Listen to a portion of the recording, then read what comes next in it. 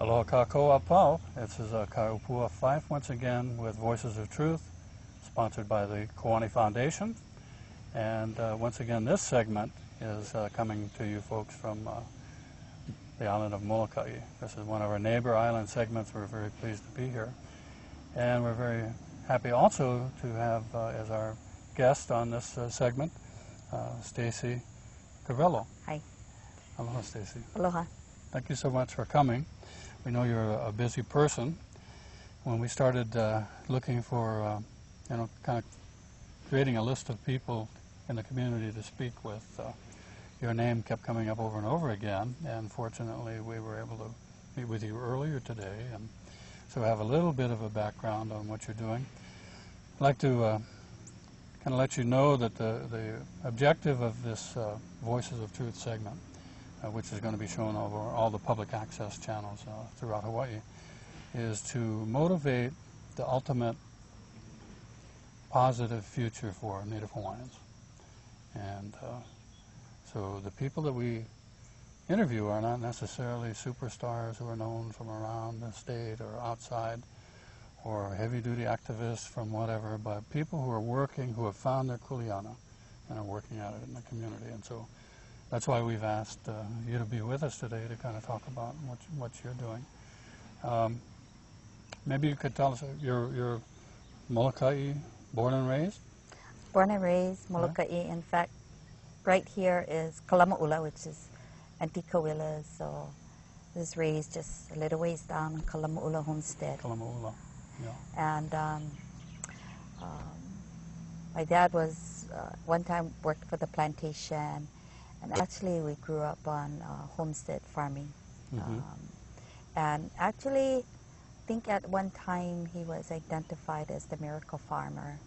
Um, salt flats, uh, kiawe trees, and uh, I know when we moved from the plantation down to the homestead, it's seven of us, Mhm. um, and remember saying to one another, why did they bring us to this deserted? You know, at that time there was just uh, um, four of us, so, Yeah.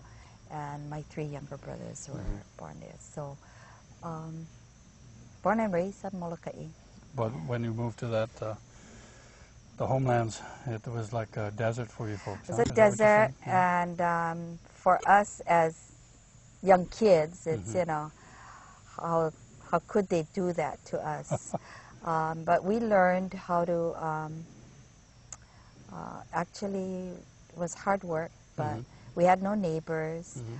Um, in fact, um, my brothers, my younger brothers who grew up with Auntie Kawila's uh, sons, you know, after the chores were all done, this is where they would come and hang out and Mhm. uh, do their crabbing and Yeah. what have you right out front here. Yeah, close so. to Kahakai. Yeah. Yeah. hmm But we had our own little homestead Mm-hmm. um, people, and this and Kalamaula for us is is home. Mhm. Mhm. Kalamaula now is uh, there's a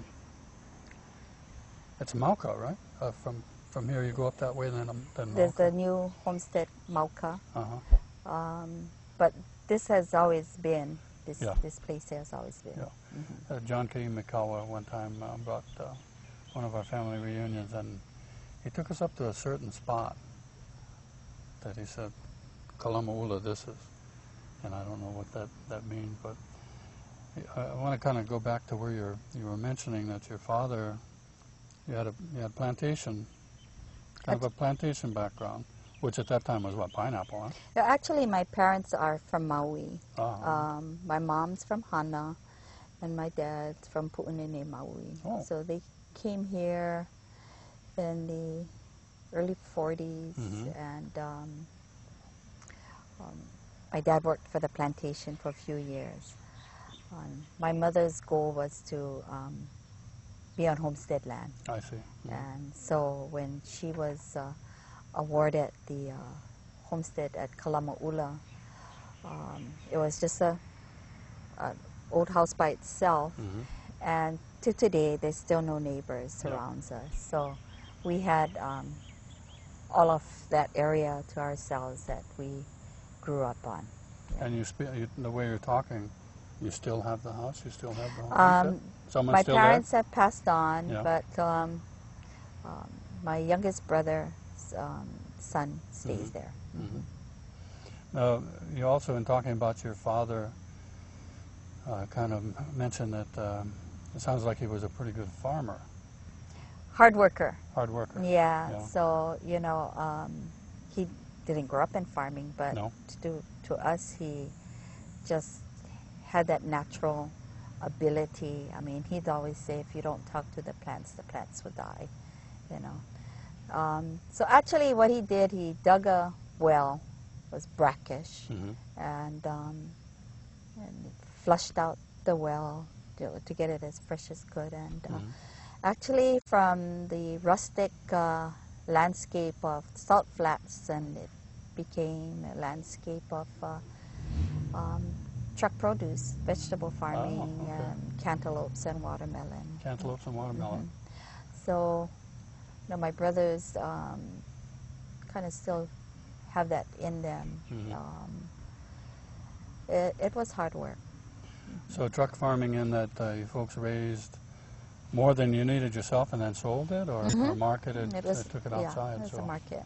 And I see, uh, I know we visited with some of the uh, some of the farmers here on Molokai over the past couple of days, and uh, they're trying different things. Uh, They're, Mhm. they're and they're trying a different s- scale Mhm. of uh, farming. I know I had heard years ago, not too many years ago, but someone had done a study on Molokai, and the data, they, the statistics they came up with said that um, of the Native Hawaiians on the island of Molokai, an average of 60% of their nutritional needs were met through hunting, gathering, farming, uh, doing for themselves, fishing, Subsistence, uh-huh. subsistence type Mhm. existence. Do you think that's pretty close still, or you have a I, for it? believe so. Yeah. Um, um, in fact, you know, subsistence is in more ways than one. If you Mhm. don't hunt, then if you need venison, you know who does, Sure. and then they'll Yeah. share. Yeah. Um, likewise with fishing, you know, or um, vegetables. Uh, Yeah, crops. um, yeah, for subsistence purposes. yeah. You know, Mahele, everyone kind of yeah, yeah. And actually, that's a very uh, traditional, traditional way that uh, the communities, uh, the Ohanas, have survived for Mhm, generations. I mhm, think, mhm. maybe centuries. Right. Uh, and that's how we get into the areas of uh, expertise. Uh, someone having a kuleana within the community, taking care of their focus, and others took care of theirs. Uh, the fishermen caught fish, and the Mhm. mahiai, Mhm.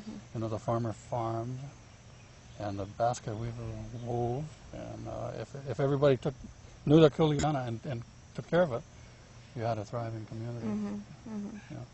You had a, a Omona, a community that had Yeah, yeah. had I'm its in needs met. Momona, Yeah. right? exactly. Yeah. So, so actually, you don't have like multiple generations of attachment to Molokai.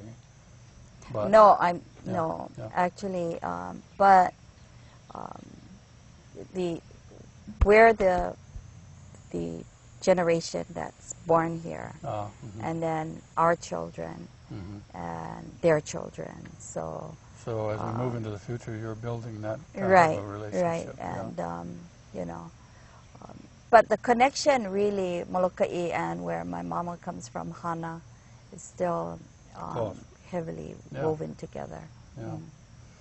It's interesting that um, I hear Hana mentioned a lot over here. I mean, it's like on Kauai, uh, there was a relationship with Kona, quite a relationship. So it's interesting that Mhm. these points on different Right, islands uh, right. kind of seem to interact more than others did, Right. perhaps. So you did you did you pretty much stay on Molokai? Did you uh, did you grow up, go away, come back? Well, I, during the time when we grew, were growing up here, it was like as soon as you're done with high school, you have to leave the island. You know, Mhm. there's a plantation. Mhm. Um, our summer work was working the plantation so that you know what is hard work and you want to further your education. Um, and we had mango orchards, and um, so during that time, and I think you still hear the chatter. There's nothing here Mhm. for you. Mhm. Um, but for many of us, as when we left home, or you know, I I left home when I was 17, Mhm. and um, that was some time ago, and lived on Oahu, got my schooling and worked there. Mhm. But after I started to have my children, um, I, well, growing up here as a teenager, a young person, you'd say, God, I can't wait to get off this rock, you know The rock. um, the rock. But as soon as you're off the rock and you're done with your um, getting blinded by the so-called city lights, Yeah. it's there's nothing really there, Mhm. And you yearn to come back to um, what you value. Right. So um, eventually, I was able to make full circle and to come home and to raise my family Mhm. um, home, you know. And um, this is where I'll be until time to journey all the way home. Yeah, You know. yeah. Mhm.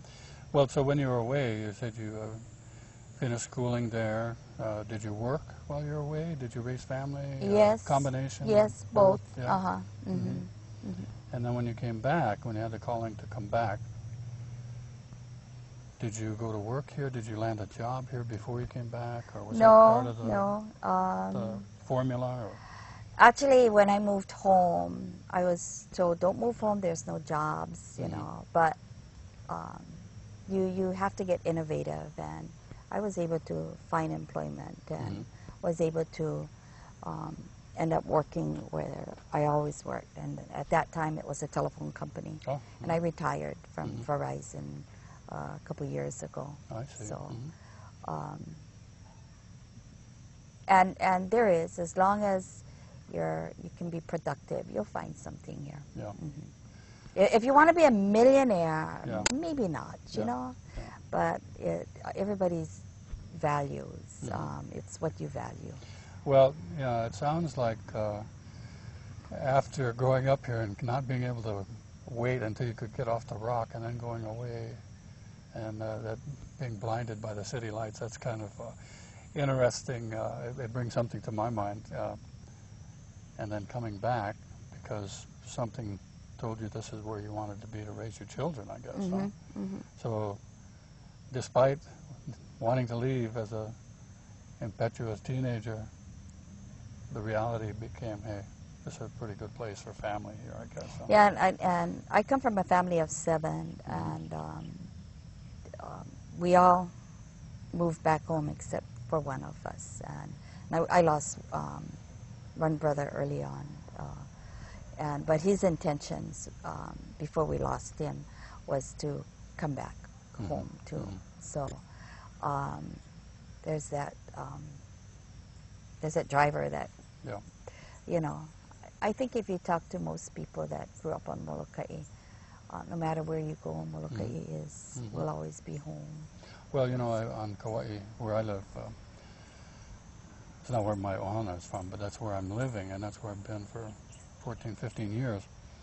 And uh, it's like the people from Ni'ihau who live on Kauai, and they always talk about you know. Mhm, mhm. I mean, they had to leave for their various reasons, but to them, uh, when they talk about the good home time, small kid, growing up, peaceful, Mhm, less stress, Ni'ihau is, is where Mhm. they like to be. mhm. So this is a, for you and, and your children here, it's now, for you folks now. And one of the things in a community like Molokai is the kind of the interdependence, uh, you know, the things that need to be done and can be done. And so during your working time with Verizon, I imagine you were punching the clock and putting that time in, raising the family at the same time. Mhm. And then, and then after you retired, uh, you must have had a lot of free time on your hands because I imagine really. the family was the family was grown, right? Mhm. So, Well, actually, to me, if you live on Molokai, you know, I so often friends from the outer islands, especially on Oahu, would say, "Oh my gosh, what do you people do there? mhm, You know, what is there to do on your island?" Mhm. And um, I would always respond, "It depends what you want to do." Right. Yeah. Um, if we want to spend money, we can jump on the plane and go nuts a little bit in Mm. the shopping malls, and then, but we know we can come home to peace. Right. Uh, um, if you want to spend time with family, um, then this is where it's at. Mhm. If you want the um, simplicity of your surroundings and and absorb um, the values of the basic fundamentals of life, Mhm. this is it. It's not to say there aren't thorns to Yeah, it all, sure. you know. Um, but living here, whether you're working, you know, or as your children are growing up or what, many of our people on the island get involved um, in the different activities or or community functions, activities, however Mhm. you want to identify Mhm, it mhm. um, we are the resources. You Yeah. know, um, we don't have a bridge where you can bring all the um, experts here to make things happen. So you have to depend on yourself and on one another. Your own resources. Um, right. And so, you know, the resources are not only the natural resources, but the human resource that we have. So you, you find yourself wearing many hats, and there, I would think that just about anybody you talk to on this island, um, they're into one thing or the other, Mhm. you know, Mhm. um, to help make things happen. Sure. Or several at one Or, time. or several at one time, Yeah. right? Yeah, when you mentioned, uh, I, I keep getting this, the bright city lights, and, and something comes back to me was, you know, when people say, "What do you do on Molokai?" and I picture this moon, and and some somewhere I saw Molokai nightlife, Yeah, and what you see is the moon, yeah. Molokai nightlife. But you know, with the group that we were traveling with the past couple of days here on Molokai, there was the same kinds of question because in that group were people from uh, uh, Oahu, the other islands, uh, people who've been around, and some student, um, oh, work experience type uh, people who come along, and, and they would all, and they said, ask the same question: Well, what do you do around here? Well, you know, during the week, uh, we would see people around and so forth, but on a weekend, I mean, you know, driving out to the other end of the island, coming back. I mean, there's no question what some people do. I mean, you see huge groups of family, ohana, friends gathering and visiting, spending time talking. Uh, you know, they're going to be having, uh, fixing food. Some are fishing, some are surfing, and it's like, my goodness. Uh, uh, once they could see what was going on, they said, well, that's what people in Molokai do. So, Mhm. In addition to working and, and making, making, making ends meet Mhm. you know, meeting your needs. But, you know, within a community too, even as small as the island is here, uh, Molokai, and the, and the population is small. When I first came in the first night, I went past, I drove past uh, uh, Kulana Oiwi, and the place was jammed. It was a Thursday night, you know, Mhm. and it looked to me like a big percent of the population was there. And I went in to meet with Matt, you know, at Akaku, and I said, "Wow, what's going on?" Uh, you know, somebody said, "Oh, a couple of meetings." But you know, on the, on the other islands I'd be at, they have a hard time getting people to turn out for meetings, community type meetings. You have people come in from all over the place, and you have a few people show up. And so, and I've been to Molokai many times for different kinds of meetings, and then big time turnout. What do you think is that? What do you think that's a function of?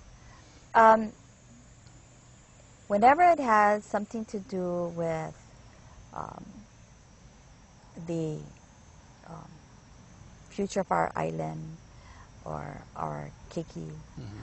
um, our children, or um, it, like I say, you're involved one way or the other. Mhm. So um, nobody can do it by themselves. Mhm. So people turn out, you know, Participate. participate, and uh, uh, whether it's to share their mana'o, to agree or disagree, Mm-hmm. um, or or or come together and, and build on on what would be best, whether it's for literally Yeah. um, or church function, Mhm. or or some economic development for the island, or or you know what was it? Somebody asked. Um, well, some people on Molokai tend to always want to stop things, so that's when they all turned out. Mhm. But um, one of um, the activists said, um, "No, we're not here to stop things. Mhm. We're here to uh, protect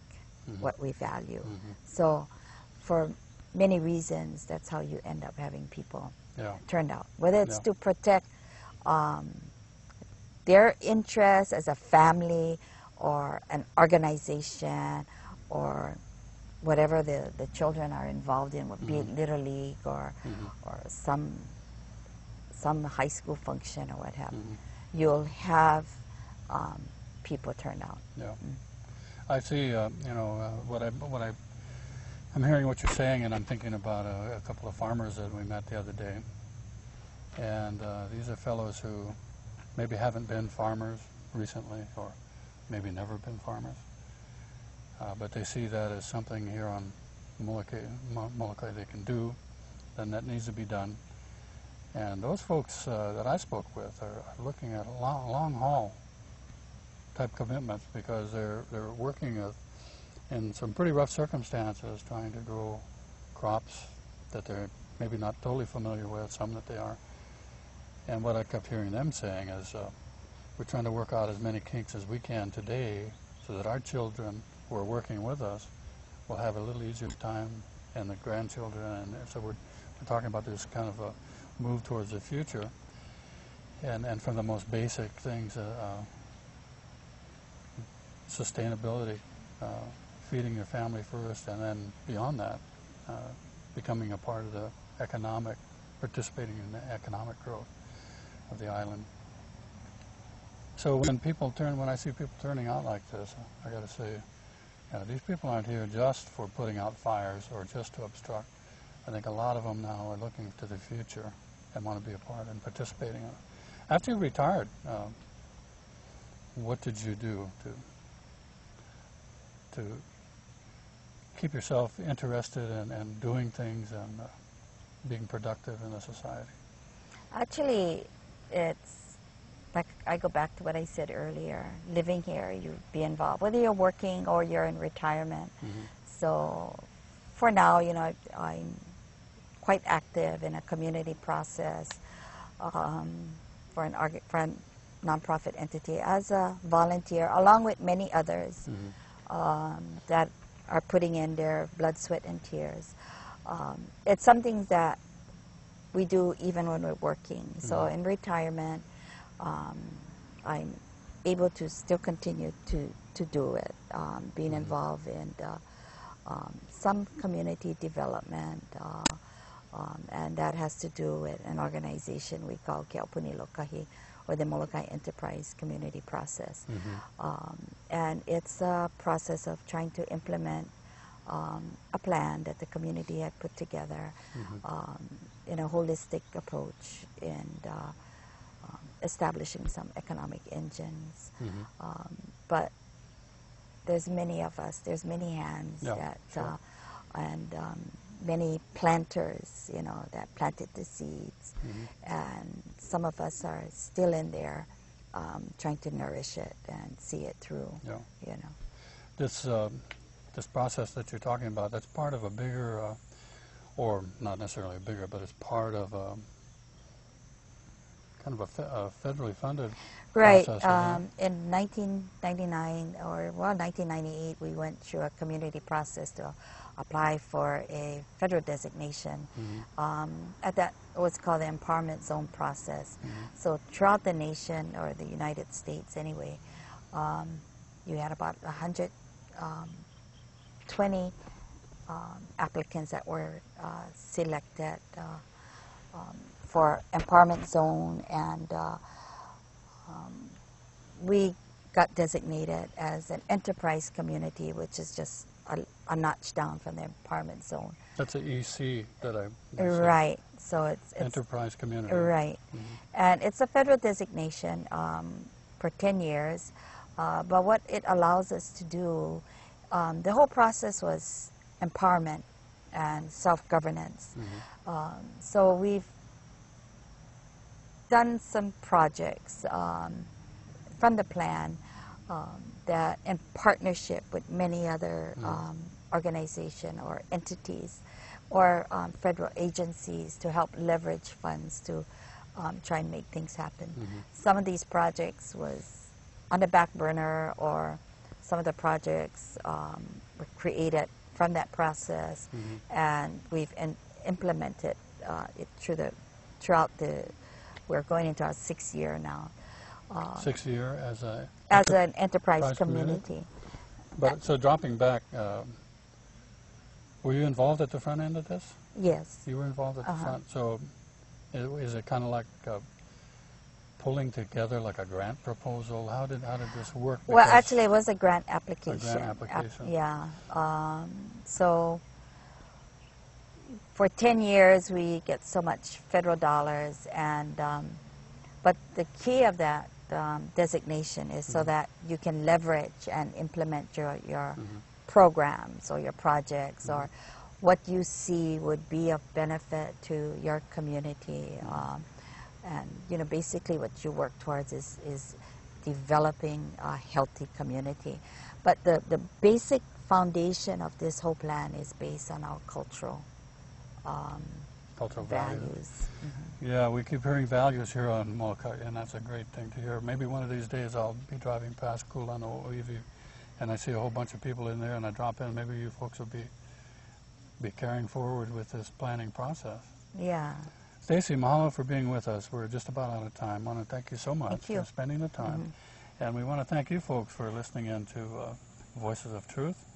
Uh, tune in. We know we have new segments breaking every week on all the islands public access. Let your friends know. You may see somebody you know here, and if you don't, you may see somebody you'd like to know. Again, mahalo nui. This is Kaiopua Fife for the Koani Foundation. Well, growing up here as a teenager, a young person, you'd say, God, I can't wait to get off this rock, you know, The Rock. um, the rock. But as soon as you're off the rock and you're done with your um, getting blinded by the so-called city lights, Yeah. it's, there's nothing really there. Mhm. And you yearn to come back to um, what you value. Right. So um, eventually I was able to make full circle and to come home and to raise my family Mhm. um, home, you know. And um, this is where I'll be until time to journey all the way home. Yeah.